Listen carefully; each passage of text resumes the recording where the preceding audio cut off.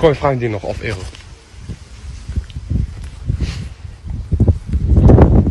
Entschuldigung, eine Frage. Sind Sie schon geimpft? Ja, Ja? ja genau. Beide Impfungen?